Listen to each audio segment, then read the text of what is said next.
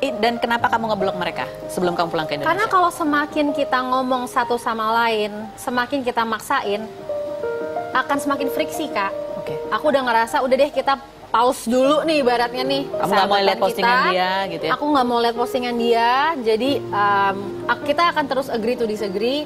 Dan udah banyak juga yang warning aku dari dulu. Um, mendingan lama-lama tuh lo bisa pusing deh kalau Oke. sama dia gitu. Yang Jadi- kamu disagree apa berarti? yang aku disagree adalah well-being aku, kalau mereka care dengan well-being aku, mana buktinya mereka merasakan sakit hati aku ketika aku di mental health hospital diperlakukan dengan sangat tidak adil dari 27 Juni sampai 11 Juli. Kamu mengharap mereka ngapain sebetulnya? Say sorry. Just say sorry duduk depan duduk depan aku ngerasa kayak aku tahu itu painful banget dan itu berawal dari aku yang ngelapor ke 911. Udah itu doang. Itu doang sebenarnya. Sesederhananya. Tapi mereka malah sibuk siapa yang ngelapor gitu. Em, sibuknya macam-macam yang lain-lain juga banyak sibuk yang lain. Jadi sibuknya fokusnya ke banyak hal lain. Selain kamu kesel karena mereka nggak say sorry up dan merasakan apa yang sakit yang kamu alamin ketika harus masuk ke eh, apa mental health hospital, kesel juga nggak bahwa mereka memviralkan ini gitu? Kamu kamu lihat postingan-postingan mereka nggak? Enggak, enggak karena aku kan selama di mental health hospital nggak boleh pegang HP. Jadi kamu nggak pernah ngecek Nggak juga pernah lihat, jadi bahwa aku dia ngetek Jokowi, Jokowi. Ya itu aku dengar dari orang. Aku tahu dari orang yang cerita dia tuh sampai ngetek Jokowi, ngetek Joe Biden. Nah ini. Ya itulah.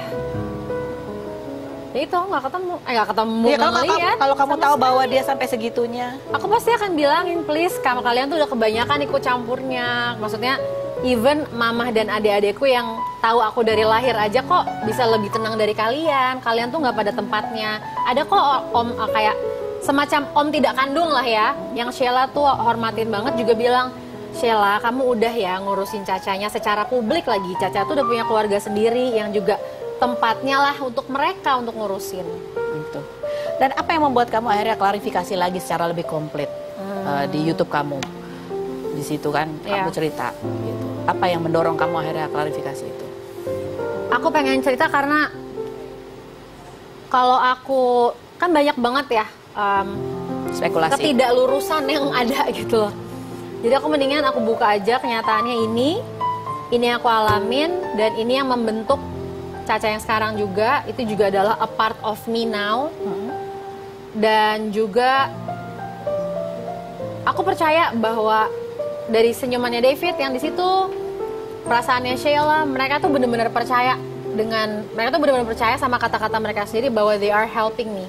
Kelihatan kok dari mukanya kayak muka tulus ya kan?